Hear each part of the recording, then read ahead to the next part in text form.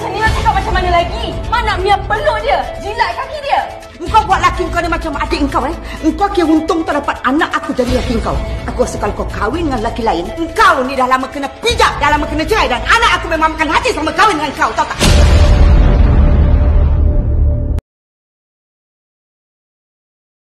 Bukan sebabkan kau Paksalah aku kahwin dengan kau Aku dengan Wada tak nak jadi macam ni You tak nampak apa yang I buat selama ni? I buat semua ni sebab I cintakan you. Okay mampuslah dengan kau punya cinta Lama-lama Lama rindu Pada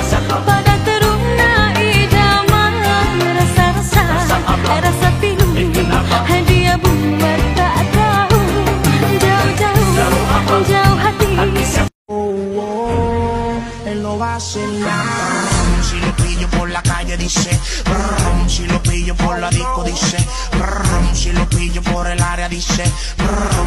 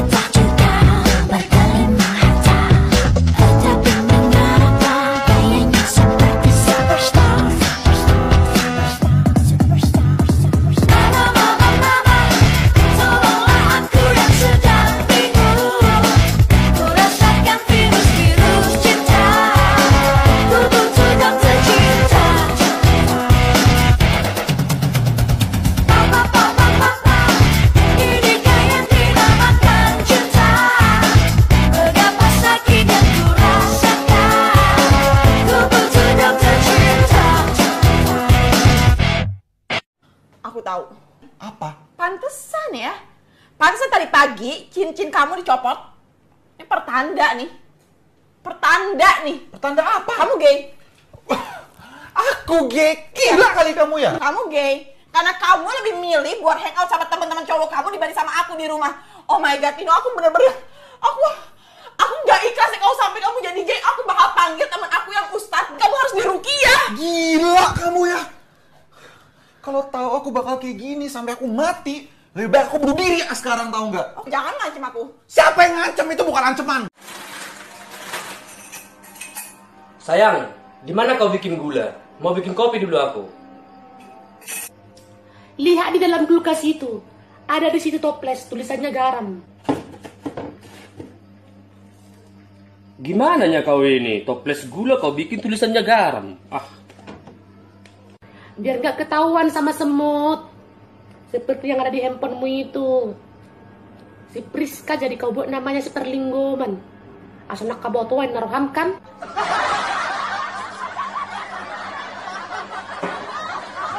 Ida ge tahe. Mekel do peon. Wuh, lecik nih otakmu. Apa nak jadi dengan kau ni, Ana? Apa nak jadi dengan kau? Keluar rumah sesuka hati. Balik tengah-tengah malam. Perangai macam gadis liar. Kau hanya fikir diri kau saja. Kau tak pernah ambil peduli perasaan kami. Kenapa tiba-tiba saja kau jadi macam ni? Jangan kau hancurkan hidup kau, nak. Fikirkan masa depan kau, nak. Saya tahu apa yang saya lakukan, Mak. Saya dah cukup dewasa. Biar dah! Mungkin kau lebih suka melihat kakak kau mati dulu. Supaya hidup kau lebih bebas. Itu yang kau mau, bukan? Kak Maria. Terima kasih kerana menempeli Ana.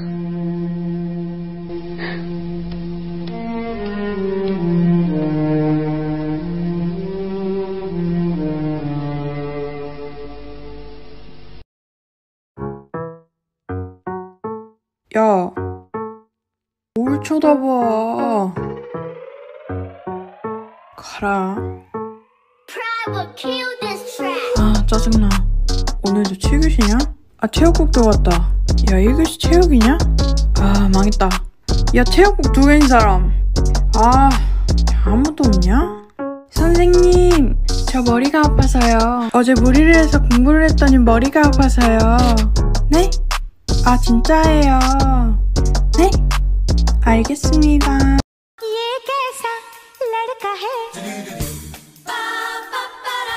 ये कैसा लड़का है ये कैसी लड़की है इसका मैं क्या करूं Aku tak heran pun anak yang kau kandung tu sebab anak yang kau kandung kau tu memang anak haram. Perempuan jahat macam kau memang tak boleh percaya. Ha? Kau dah bodoh-bodohkan anak aku dan kau jadikan anak aku pak sanggup kan?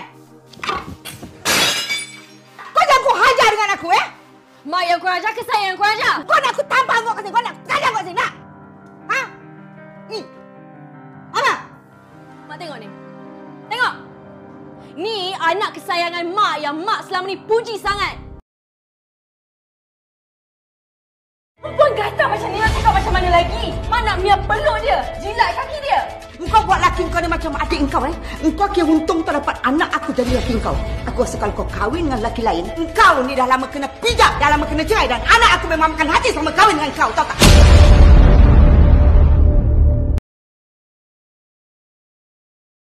Kalau mak berkenan sangat, mak pinanglah dia untuk Abah, kau jangan kau hajar dengan aku eh. Tak payahlah memekik lah mak. Anggap je lah hari ni, hari terakhir mak jumpa Lisa.